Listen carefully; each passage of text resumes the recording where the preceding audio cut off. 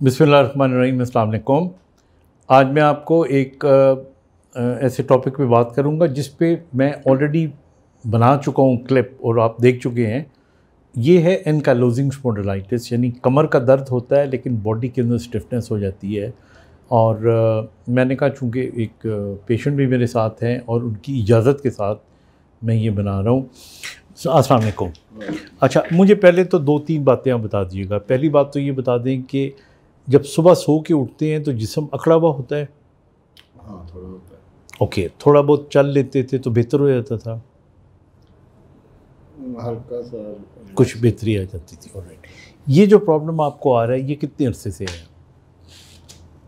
ये तो काफ़ी महीनों से मुझे है लेकिन मैं तो पेन कलर की ये खा लेता था। ऑलराइट अच्छा अभी आपको खड़े हो आप ज़रा एक मिनट के लिए। अगर आप खड़े हों, ओके।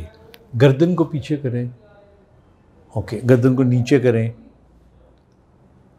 गर्दन को साइड पे करें, उस साइड पे करें। अच्छा अब इसको पकड़े हुए अगर आप झुके नीचे तो कितना की झुक सकते हैं? हम्म इससे ज़्यादा मुश्किल हो जाता है। थोड़ा यहाँ यहाँ तक आ सकते हैं। बिल्कुल। बिल्कुल। अब मैं आपको बताना ये चाह रहा हूँ कि इस बीमारी के अंदर जो फॉरवर्ड फ्लैक्शन होती है यानी अगर मैं ये खड़ा हूँ तो जो आम आदमी है वो अगर खड़ा होकर झुकेगा तो उसके पैरों तक हाथ लग जाते हैं। तो इसके अंदर आप पूरा झुक नहीं सकते। इसी तरह पूरा पीछे नहीं जा सकते और लेटर ऑन आपकी जो गर्दन है उसके अंदर भी सख्ती आ जाती है। आपकी गर्दन अभी तक ठीक है माशाल्लाह से। या थोड़ी बहुत है कि जाओ। इस तरह करने से थोड़ा हो जाता है और राइट अच्छा अब आपने ना इनको थोड़ा सा चलता हुआ दिखा देना है। दो चार कदम चलें आप। हम्म। चलें। हम्म। ये फिर हिप जॉइंट के ऊपर प्रेशर पड़ जाता है सेक्रो सेक्रोइलिक जॉइंट्स होते हैं उनके ऊपर प्रेशर पड़ जाता है। चलें बेशक वापस आ जाएँ। अब आप मुझे ये बताएँ कि लास्ट टाइम आप कितना अर्सा पहले आए थे? अबाउट एक महीना पहले? थ्री वीक्स तो इन तीन हफ्तों में आपको कुछ बेहतरी लग रही है? हाँ, पहले से बेहतर है। पहले से बेहतर है। और राइट और राइट अब इसके अंदर मैं दो चार बातें जो इनको समझा रहा था वही समझा रहा था कि इन ताला ये बेहतर और हो जाएँगे लेकिन ये याद रखें कि ये ख़त्म नहीं होती बीमारी।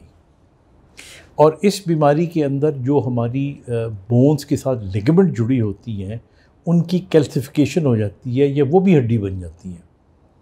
और इसका जो बेहतरीन इलाज होता है दवाइयों के अलावा ये है कि आप मूवमेंट करते रहें, चलते फिरते रहें, खुद को मूवमेंट करते रहें और मुरैल आपका बहुत हाई होना चाहिए।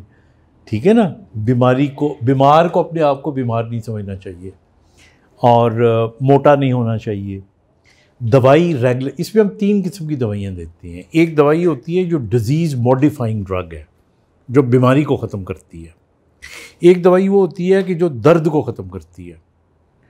और एक दवाई होती है कि अगर कोई डिफॉर्मिटी बन रहा हो, जो स्टीरोडल होती है, वो हम साथ में देते हैं। तो आई होप अगर अल्लाह का शुक्र है, अभी तक बेहतर है तो आगे, मैं आपका नेक्स्ट टाइम भी वीडियो बनाऊँगा, इंशाल्लाह, और मैं देखूँगा कि अगले एक डेढ़ महीने के बाद आपकी क्या पोजीशन है। थैंक यू खुदा हाफिज़